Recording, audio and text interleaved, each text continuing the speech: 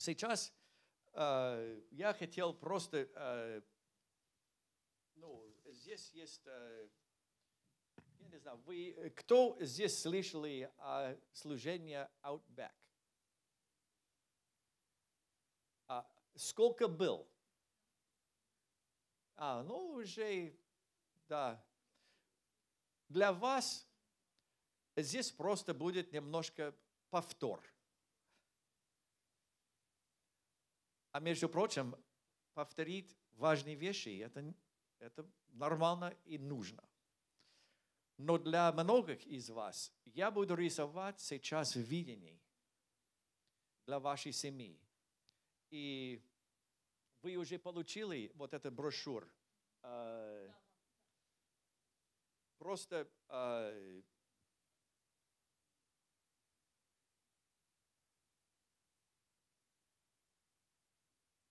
я могу, конечно, наверное, несколько часов, можно много часов говорить об этом. Но все, что хорошо. Давай, когда я видел этот первый раз, я, эм, это было как помощник. Пом, это помог, помогла мне э, видеть, что любое время здесь, вот это процесс.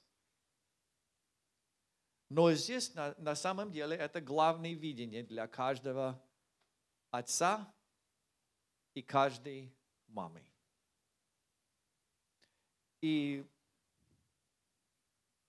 подростки, у меня вопрос.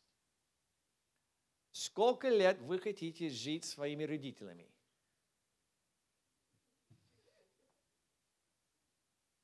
Пятьдесят лет? Восемьдесят? К сожалению, это бывает, но мы не будем говорить о таких людях. Сколько лет вы хотите жить своими родителями? 18. Но это, это вызов даже в вашей культуре. Но цель родителей, чтобы ваши дети жили независимы от вас. Вы знаете, самая большая э, страх для родителей.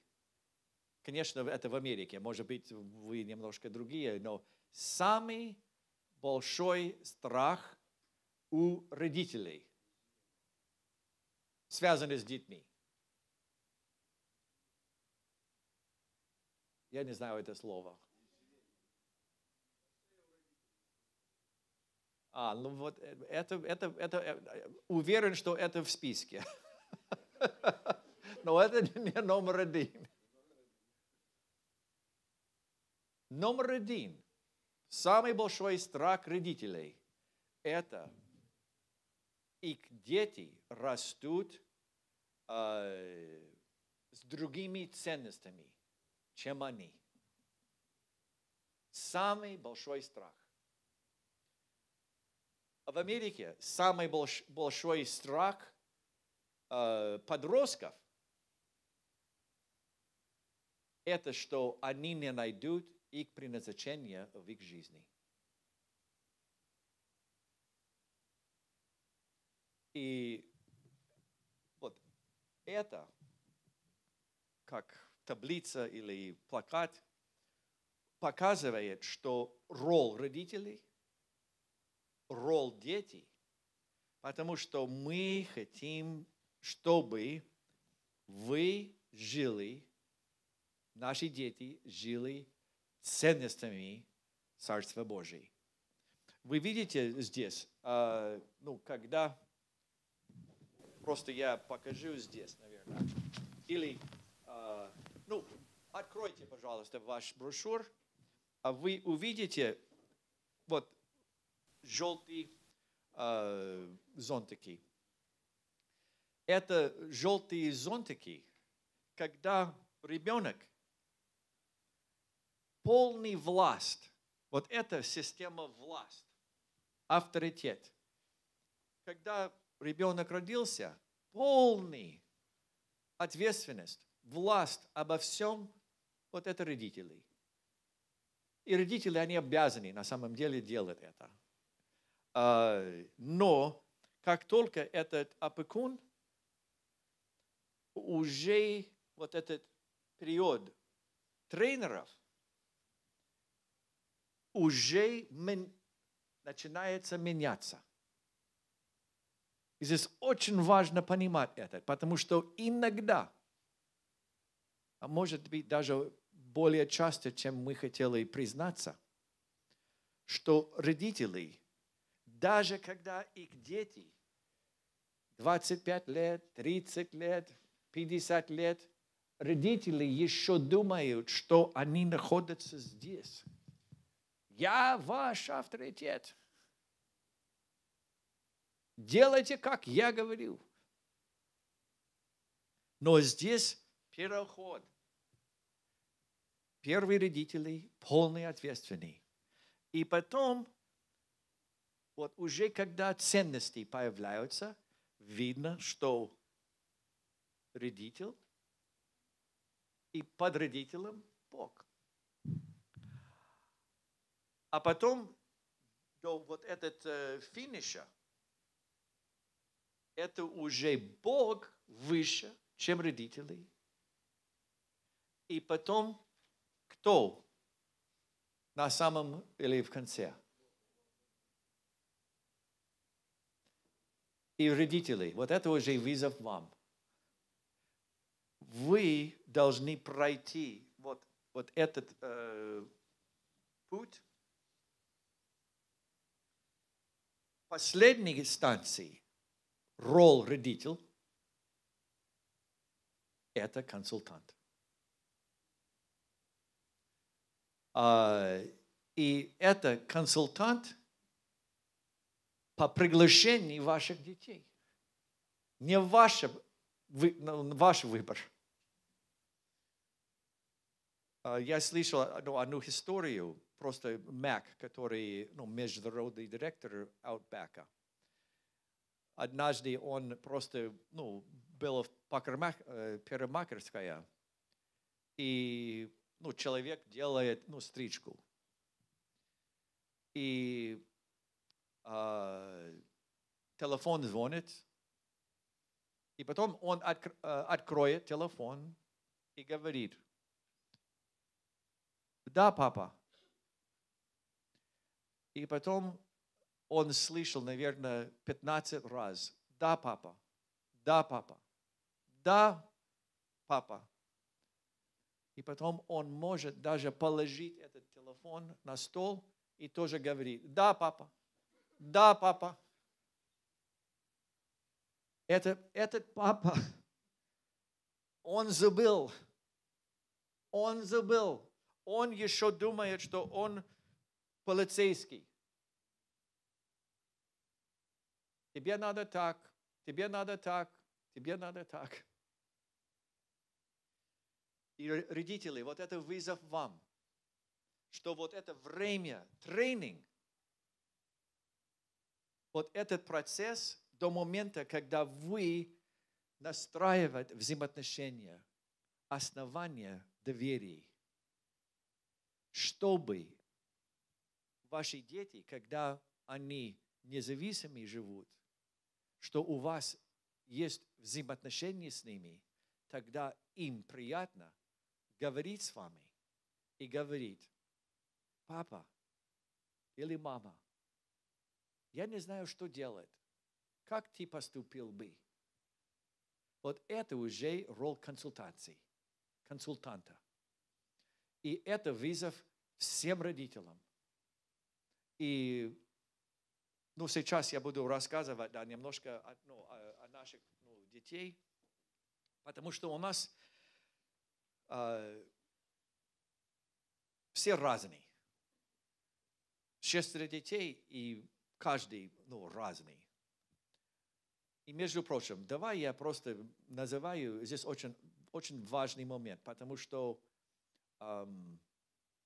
вы тут, наверное, вы тут, потому что вы хотели быть лучшим, лучшим родителем или понимать, как быть родителем лучше. А, И, скорее всего, вы тут, потому что у вас ну, смогло быть ну, проблемы или сложности. Хочу знать, как поступать, как делать правильно. И я буду говорить, ну, немножко о рамках, но деталей я не буду говорить. Вы знаете почему? Потому что воспитание детей – это искусство. На самом деле это искусство. А если вы думаете, что вы можете воспитывать ваших детей с правилами, законами, с принципами, вы ошибаетесь. Поэтому здесь э, рамки важны, принципы важны, но это искусство.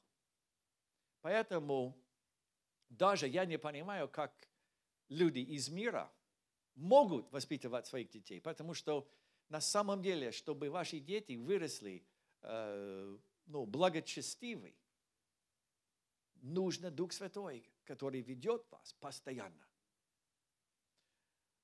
Но сейчас я хотел говорить, да, нем- нем- немножко, эм, когда, допустим, когда мы плохо были тренерами, а, что наши дети звонят для обычно, для одной цели. Вы знаете, какая цель? Деньги. Они или плохо думали, или плохо посчитали, или мат- математика была плохая тема им. Но они звонят, потому что не хватает денег.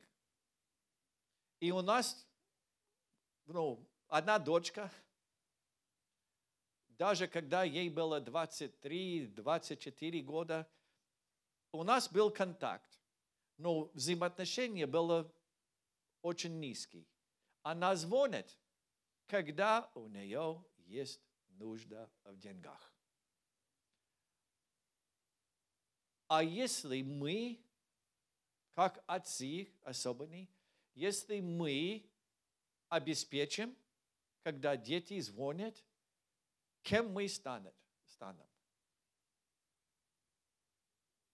Кошелек или банк. А взаимоотношения именно на этот уровень.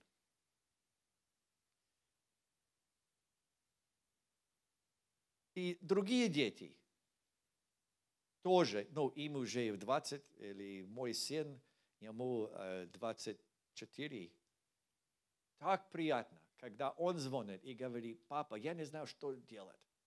И у него есть проблема, и ему нужен совет. И это приятно. И вы видите, вот, вот это э, короткое время, здесь короткое время, здесь чуть больше. Время консультат сколько? До конца жизни. Это самый длинный кусочек жизни. Это роль консультанта.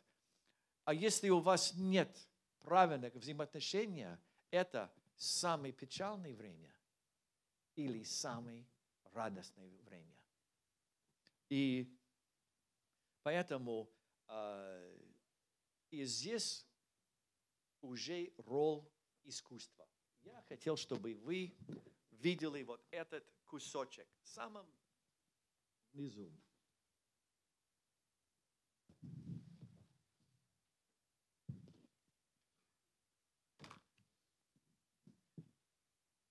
Когда я слышал это, это так э, коснулся ко мне, что мой мир просто повернулся э, полностью. Отцы достигают успеха, проходя трудности, а затем э, всячески оберегают своих детей от того самого, что помогло им стать успешными.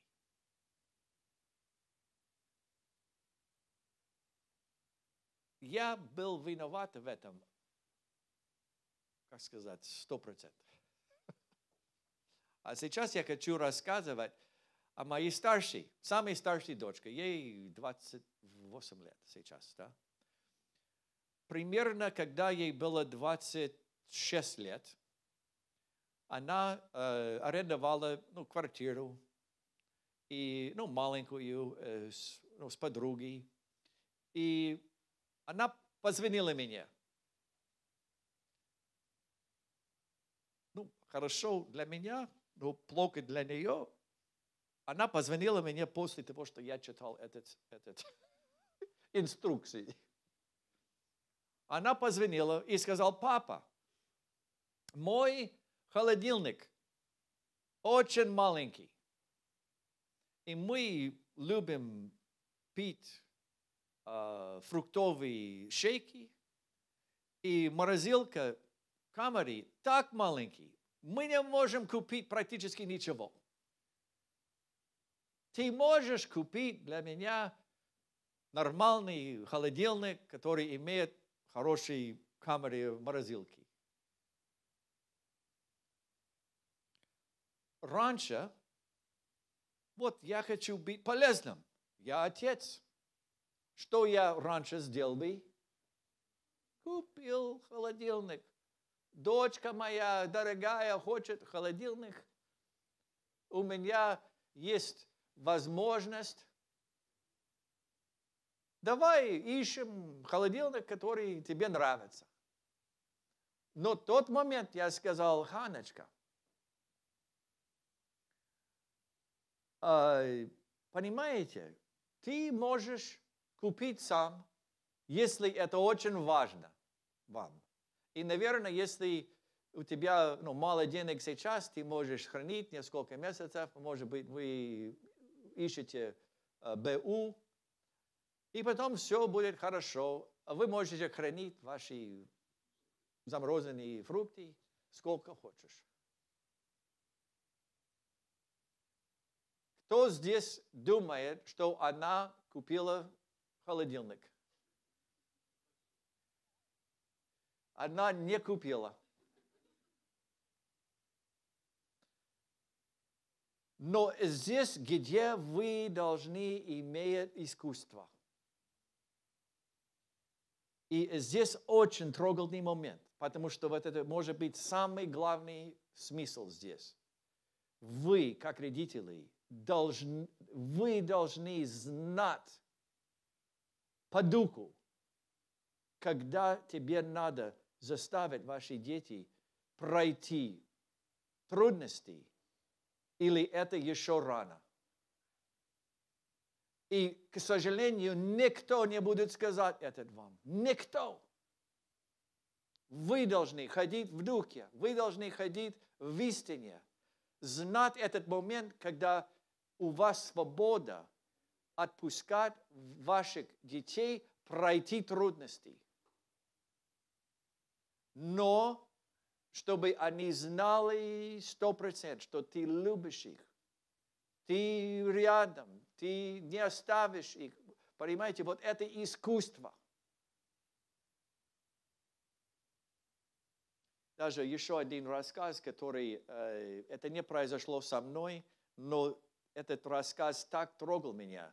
Один из наших друзей, который помогает нам, э, вот это, ну, давно мы участвовали в создании Украины без сирот, и один человек, который возглавляет э, ну, огромную миссию, которая называется uh, Compassion International.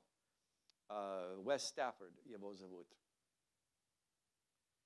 И вот почему я говорю эту историю, потому что это показатель, как важно ходить в духе. Это произошло сам, э, с ним, своей дочери. И я не говорю, нужна структура дома. И когда есть бунт дома, нужно больше или сильнее структуры. Но ваша структура не спаситель вашей. И представьте вот один момент, когда его дочка была, ну, примерно 9-10 лет. И уже время спать. Время, ну, не надо играть больше. И его внутреннее э, желание – это дочка моя, время спать. Но она в тот момент подошла к комнату, э, в, ну, в танцевальное платье. И потом отец, ну, первые мысли, тебе надо идти в комнату и спать. Но он видел, что есть, ну, она обычно не дома, не в этой платье. И она сказала, папа, я хочу танцевать для тебя.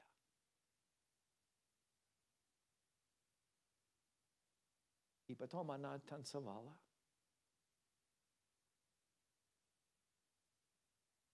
И потом отец просто выбросил все его правила и сказал ей, танцуй больше. Ты такая красивая. Ты прекрасная. Ты оживаешь, когда ты танцуешь. И она стала балериной в ее жизни. И он говорит, если я старался воспитывать мою дочку с моими правилами, я сказал бы идти в комнату и спать. Время спать, пора. Поэтому это так важно быть в духе. Потому что никто не говорит вам или предупреждает, что вот, вот тот момент будет ключевой момент своим дочери, э, своей э, дочери или твоим сыном. Никто не предупреждает. Поэтому это так важно быть в духе. И это искусство.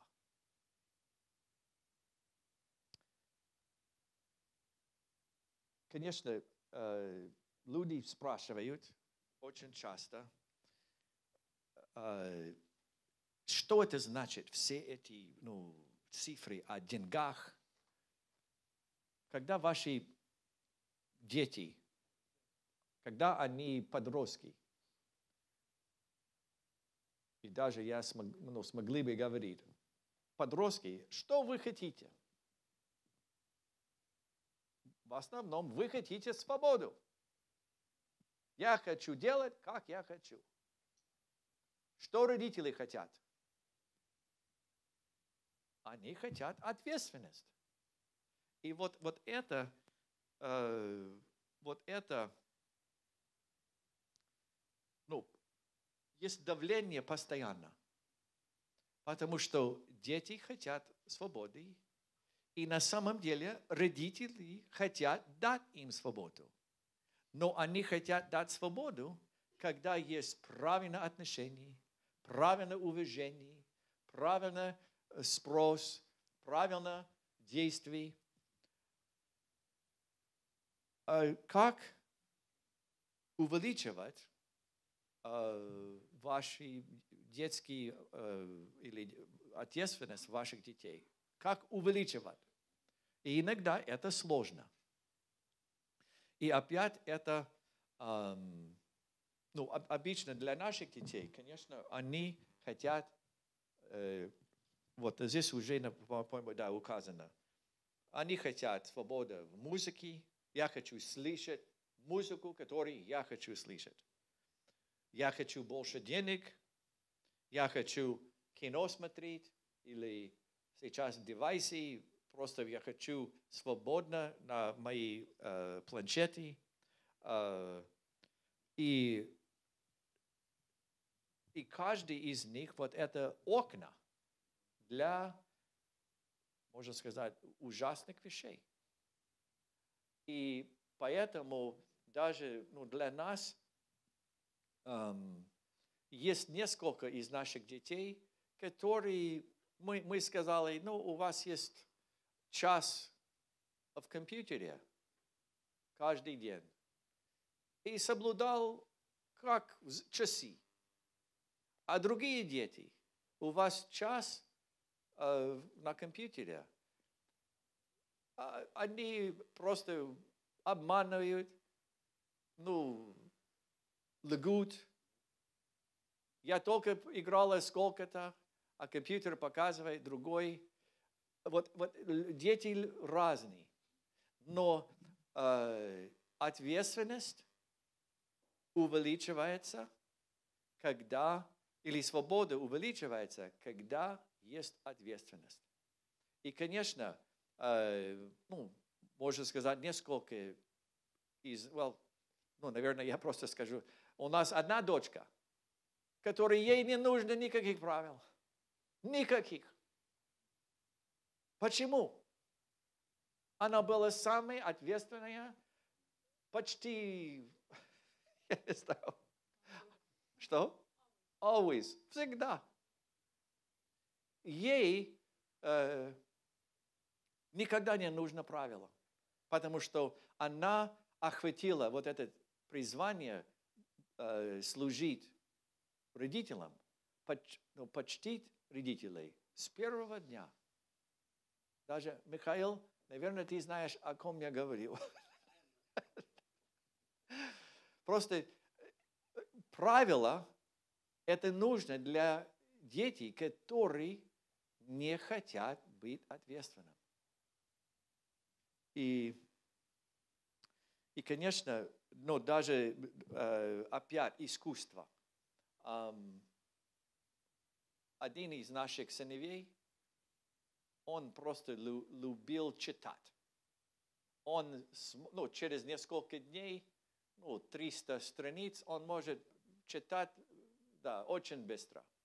А в течение одного года, ну, наверное, сколько романов он, он читал. А, и для, для нас вот все эти книги он хотел читать о зомби, ну, научные вещи. А мне, вот я знаю, что это не помогает ему жить, ну, никак. А я хотел, и Кристи, и я, мы хотели, чтобы он читал э, другие книги. Э, и, и, конечно, нам надо постоянно быть э, готовым, потому что родительство – это искусство. И потом кто-то дал нам идею, плати ему, чтобы он читал книги, которые мы хотели, чтобы он читал. И, и мы начали делать это. И это небольшие деньги, но когда подростки хотят деньги, мы говорим, вот мы платим тебе ну, 100 гривен, если вы прочитаете эту книгу и, и писал бы один лист, о чем главный смысл, а что вы взяли из, из этой истории. И, конечно, э, мы хотели, чтобы ну, он прочитал биографии и, ну, героев и, ну, и так далее. И вот, вот это постоянно есть этот разговор. Э, Да, у, у вас есть свобода, а если вы можете правильно употреблять эту свобо- свобода, мы дадим больше.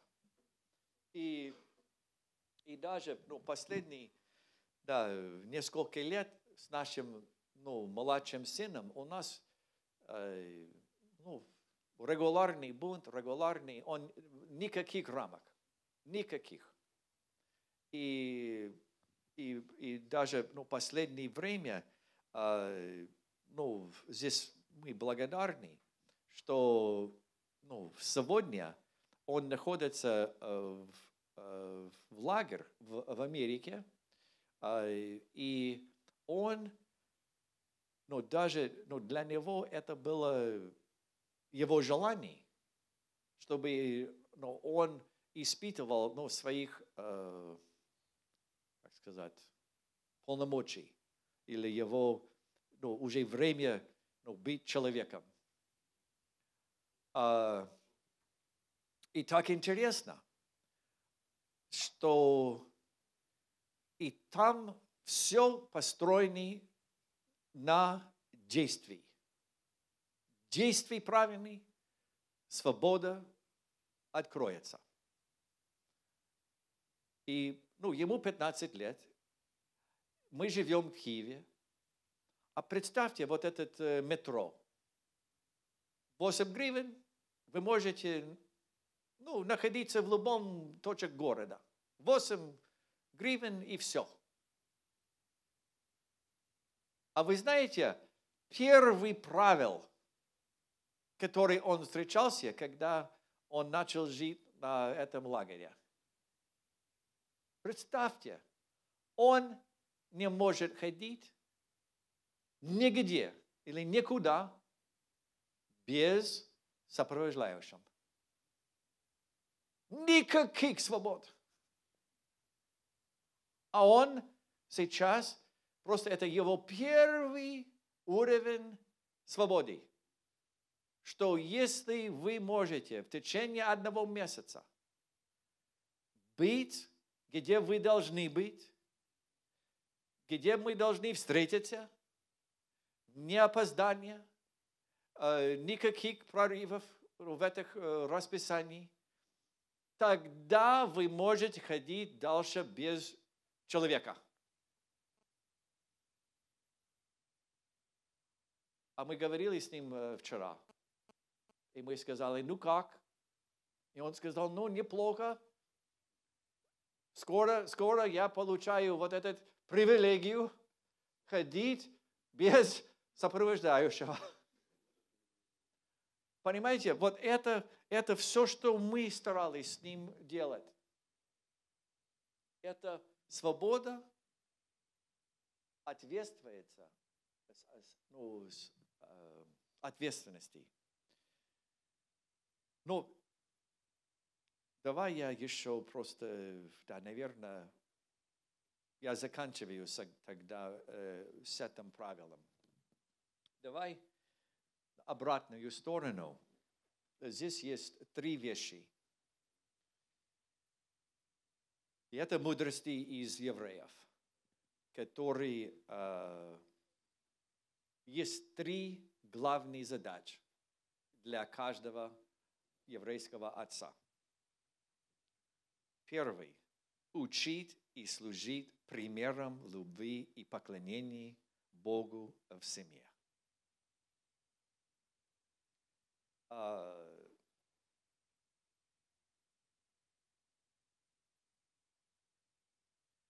Вы знаете, самый,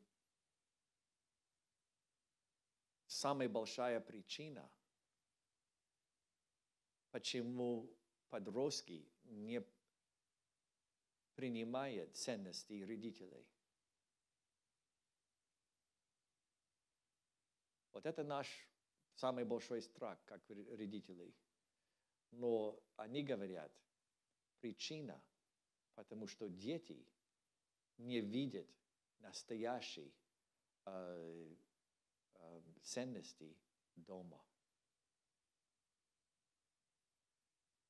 И это виза всем. Потому что они повторяют обычно все, что они видят дома. И здесь есть, э, ну даже сегодня мы, крестьяне, мы говорили об этом – что э, мы любим читать Библию. И это просто наша практика. Ну, практически каждое утро я открою Библию, читаю, Кристи откроет Библию, читает. Um, и однажды наша дочка, uh, один из наших дочерей, хотели um, креститься ну, или принимать э, водные крещения. Другая наша э, дочка сказала, а понимаете, если вы принимаете водное крещение, э, вы или ты должна читать Библию каждое утро.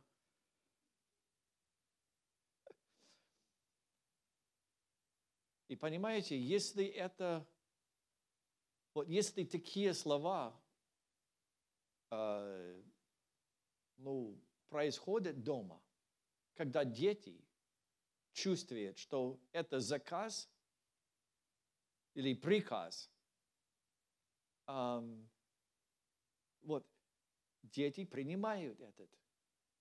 Я не хочу этот приказ. А если ваши дети видят, что вы так любите Библию, вы откроете Библию постоянно. Твои действия совпадают с Духом Иисуса Христа, тогда это не должны. Это я делаю, потому что хочу. И вот это уже ценности, которые дети ловят. Не по приказам, но они видят, они видят плоды, и они говорят, хочу то же самое. И это э, и даже подростки, ну, наверное, это их э, талант, они видят очень быстро фальшивых, э, как сказать, фальшивых поступках. Они видят очень глубоко, очень быстро. Поэтому, родители, вы должны быть настоящим. Настоящим. Они должны видеть тебя тоже э, в сложных ситуациях, где вы уповаете на Бога. Когда у вас просто проблем, нет денег, мы не знаем, как жить. Что вы делаете? Вы собираете просто, давайте помолимся, потому что у нас нет выхода. И наше упование на Бога.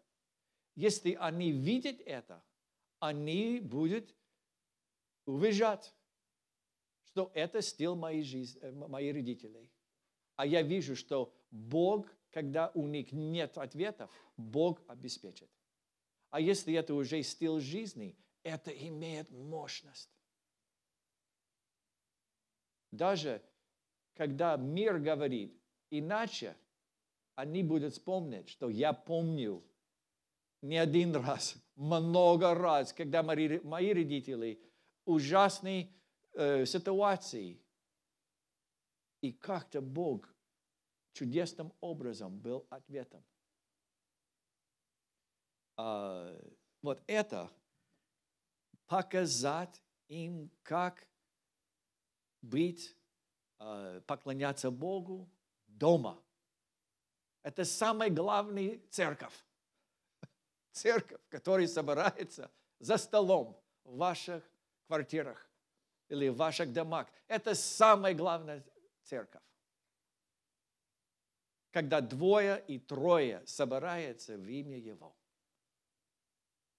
И потом, когда муж и жена, вот другой стих, когда двое согласится на чем-то, это отдано им или отдано э, нам. Вот это два аспекта домашней церкви, которые необходимы. А если ваши дети видят это в реальной жизни, в реальных проблемах, в реальных сложностях, тогда они видят, что мама и папа верят в Бога. Их упование. И, конечно, когда у вас есть эм, благословение, ваши дети тоже должны быть в курсе.